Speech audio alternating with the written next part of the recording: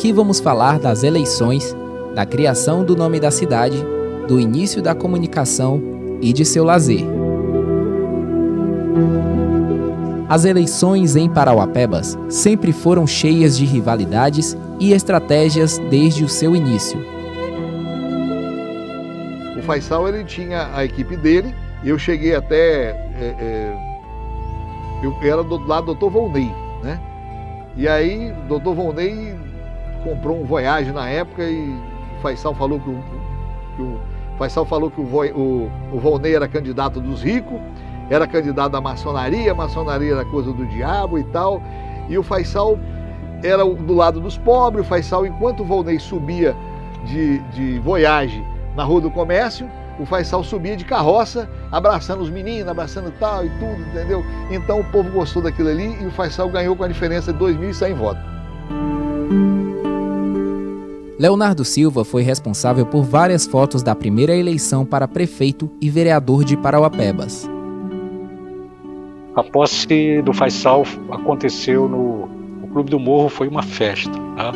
A população, todo mundo se dirigindo para lá, muita gente do lado de fora, querendo entrar para assistir a posse, e só apenas as pessoas mais influentes foram convidadas. O espaço era pequeno. O festejo aconteceu, as comemorações comecei, era naquele restaurante, era o Boi na Brasa, ficava paralela à PA 275.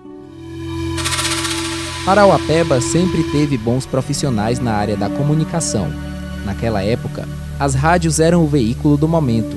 Um dos radialistas pioneiros era o R. Silva, que tinha uma rádio pirata cheia de programações que animavam a comunidade. Eu tinha uma rádio que ela ficava embaixo do chão, a escada dela dava debaixo da cama, eu entrava para dentro da rádio, puxava o tapete e cobria, ninguém via mais nada. De lá a gente transmitia, fazia programa romântico, fazia o programa show dos bairros. E quando a Polícia Federal vinha, que era o, era o Dentel, levava o nosso transmissor. Só que antes é, deles chegarem, alguém às vezes informava e às vezes não dava tempo. Aí o nosso transmissor ficava em uma parte alta, em cima do, do forro da casa. Só que a gente deixava um outro amplificador queimado, ligado, mas sem funcionar. Às vezes a polícia levava esse amplificador pensando que era o transmissor. E a comunicação naquela época só tinha uma ou duas rádios piratas, só. Né, que, era o que transmitia programa evangélico, programa de animação, programa de show dos bairros, essas coisas. Durou quanto tempo mais ou menos? Aqui? A Rádio Pirata naquela época era, era sucesso. De 2000 até 2005, quem comandava para o Pebas era a Rádio Pirata. Me prenderam uma época, tinha uma irmã, uma irmã Maria Marques, ela estava fazendo um programa e quando a polícia chegou, estava tocando o disco de vinil, lá na Galileia, bem longe daqui.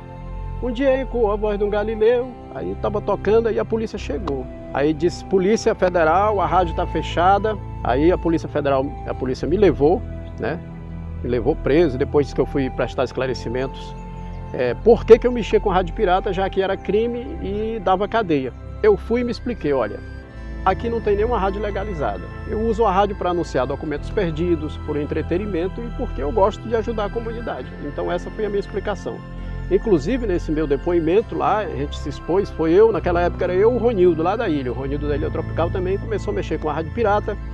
Tinha o Nil, que era o finado Nil, né? E vários outros amigos que também ingressaram, tinha Alternativa FM. Então essa é uma parte da nossa história da comunicação. Em Parauapebas, as noites sempre foram agitadas, inclusive no seu começo. Quem não lembra do tal inferninho, que era o lazer da época? Anos depois de toda a luta por emancipação e mais desenvolvimento, a cidade teve seus bares e boates que ficaram na história. Os antigos bregões aqui, você vê aqui o recanto, né, ao lado do pit dog, é, fazendo páreo aí os três com a gaúcha, né? Então tinha final de semana que era gaúcha, pit dog e o recanto, os três juntos. Você imagina como é que ficava essa região. Carro dificilmente assim tinha dificuldade de passar no meio das pessoas, né? O ônibus da Vale é, tinha que vir o pessoal da PM às vezes para poder é, separar, para poder afastar as pessoas para os ônibus passar, porque senão não conseguia. O esporte também sempre foi o forte da nossa gente. Quem não lembra do futebol nos fins de tarde e fins de semana lá no Terra Seca? Terra Seca ficava justamente ali onde é a Morenta, ali na Cidade Nova, naquele aquele trecho ali. Terra Seca era o campo, inclusive joguei muita bola, era o ponto de concentração que o povo se encontrava, né? Aos finais de semana. E, e a opção naquela época era muito pouco, era só ir para a beira dos rios mesmo. Lavar roupa, tomar banho. A minha mãe, inclusive, lavou muita roupa no, no, no rio, no rio Paraupeba, não, no Cebozinho. O rio Paraupebas era, era distante, não era tão perto igual a gente vê o rio hoje, porque a cidade era muito pequena.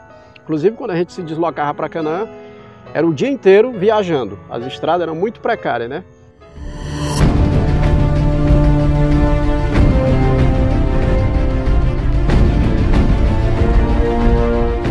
Todos os pioneiros, eles têm essa mágoa, essa mágoa mesmo de não serem valorizados pelo poder público, por não poder contar sua história, que eu, como hoje você está dando essa oportunidade para mim contar. Eu, eu creio que todos queriam ter essa oportunidade de contar a sua história, de falar o que é que fez por essa cidade.